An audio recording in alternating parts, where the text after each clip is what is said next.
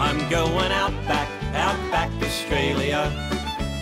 I'm going out back, out back Australia. See you there.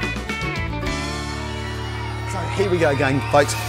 Just to follow up on Kevin and Belinda's van, the Sulli-Van. Walls have gone up. So here we go.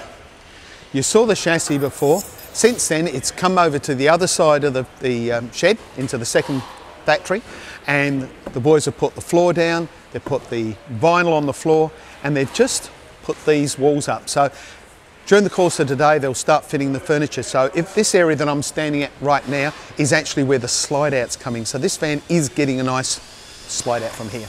So we'll be able to do a little bit more on this as the furniture starts to be installed.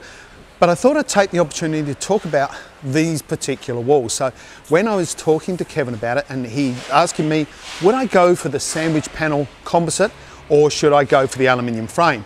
And of course, this is a tricky one. There are benefits for both products.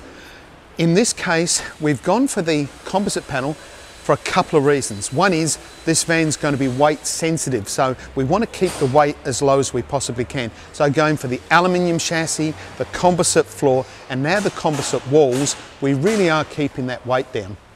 The other thing is that because it's got such a fantastic insulated floor, by insulating the walls with this sandwich panel, we're also going to keep this van very cool. Now, the, the, the children are going to be homeschooled in this, so Belinda and the kids are going to spend a lot of time in here during the daytime. A lot of this, of course, will be in the heat. Keeping it as cool, as comfortable as possible is, is a number one priority for, for that. So hence the selection for the composite. Uh, it wasn't selected for any other reasons than the fact that it weighs less and it's a much better insulator and work, should work really, really nicely for them. So we'll come back again shortly uh, once we've got a little bit of furniture in this and we'll show you the, uh, the next section. See you in a moment. So quick change, off with the hat and on with the shirt and on with the van. Come on down.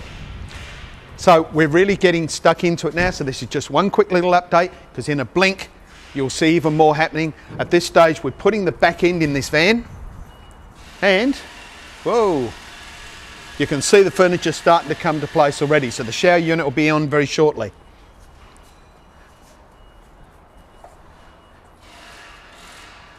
You ready? And in a tick, there'll be the next one. Here we go again. Let's have a look at what's happening with Kevin and Belinda's van. It's uh, all really happening now. So we got the front section there. Their robes are all ready, ready for the bed to go in. And then we've got um, the galley here. They've got a beautiful silver splashback happening there in acrylic, which is kind of nice. And then the fridge beside it. So that's their galley. And then inside the van, we've got um, the ensuite down the end, which is still happening. Actually, let's go around this way. So we can actually see if we can have a look through here. I don't know if Matt can climb the stairs, but if he can. Can you do it, Matt? Oh, that's a big leap. Well done. So move, moving through, so we're inside the camera. No ceiling, look, Paul. We could almost call this a convertible, but we won't. Roof's going on soon. So inside here, the bunks are nearly in. And you can see right now why it's not happening any sooner, can't you? Because actually the staff's all having a break out there. Lord knows why. I think they think they actually do some work around here, but that's another question. Anyway, you ready? Because we're about to say, let's wait for that. Another quick progress on the Sulli-Van. Come and look inside. It's starting to take shape. Today the boys have managed to get the windows in and we've done more on this galley. We've got this splashback happening. The sink's ready to go in. It's really starting to come along nicely. The overhead cupboards are in place. They've been working on the roof today. Uh, they've been working on the slide today.